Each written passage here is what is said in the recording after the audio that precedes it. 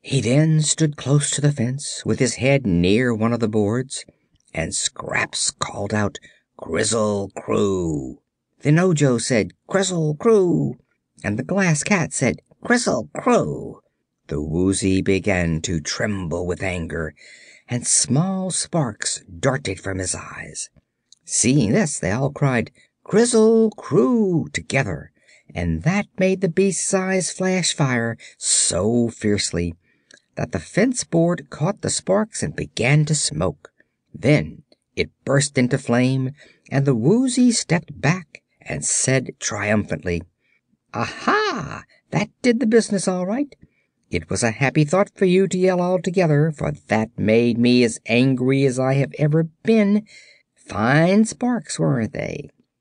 "Reg'lar fireworks," replied Scraps, admiringly.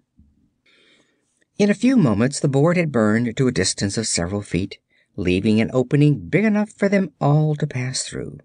Ojo broke some branches from a tree and with them whipped the fire until it was extinguished. "We don't want to burn the whole fence down," said he, "for the flames would attract the attention of the Munchkin farmers, who would then come and capture the Woozy again. I guess they'll be rather surprised when they find he's escaped." "So they will," declared the Woozy, chuckling gleefully.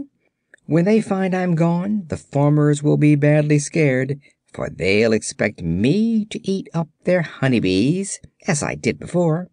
Mm, "That reminds me," said the boy, "that you must promise not to eat honey bees while you are in our company." "None at all?" "Not a bee. You would get us all into trouble, and we can't afford to have any more trouble than is necessary. I'll feed you all the bread and cheese you want and that must satisfy you."